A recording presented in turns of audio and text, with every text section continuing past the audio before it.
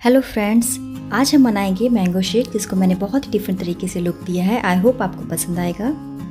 और आज का वीडियो अगर आपको पसंद आए तो प्लीज़ मेरे चैनल को लाइक सब्सक्राइब एंड शेयर करना ना भूलिए।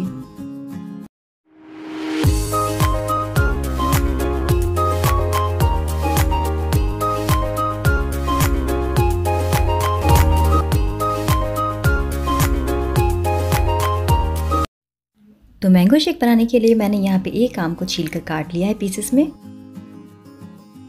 यहाँ पे मैंने एक गिलास ठंडा मिल्क लिया है।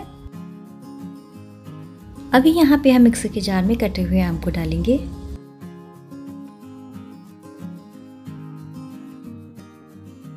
यहाँ पे हम एक गिलास ठंडा मिल्क डालेंगे।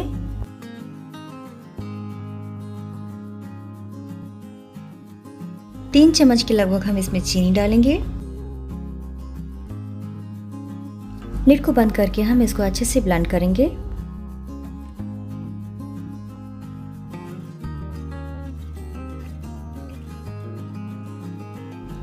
अभी हम इसको एक बाउल में निकालेंगे। हम थोड़ा सा निकालेंगे ताकि इसमें ग्लास के जो एजेस हैं, उसमें डिप कर सकें।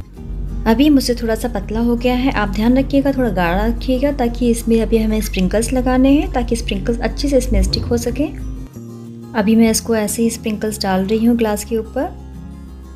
आप हाथ में लेके भी स्प्रिंकल्स को इसमें लगा सकते हैं। मैंने ग्लास की एजेस को जो मैंगो शेक में डिप किया था, अब उसमें मैंने मैं स्प्रिंकल्स लगाना शुरू कर दिया है। आप कोई भी कलर लगा सकते हैं। मैं यहाँ कलरफुल यूज़ कर रही हूँ।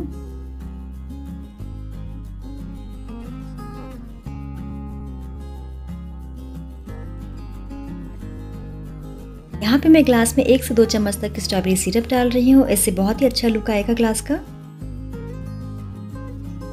अभी हमने जो आम कटे हुए रखे थे, थोड़े से मैंने बचा लिए हैं। अब उसके कटे हुए आम को भी हम इसमें डालेंगे।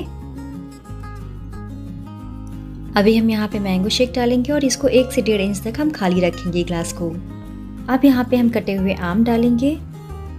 लगभग दो चम्मच के लगभग हम इसमें आम डाल सकते हैं कटे हुए, जितना आप चाहें।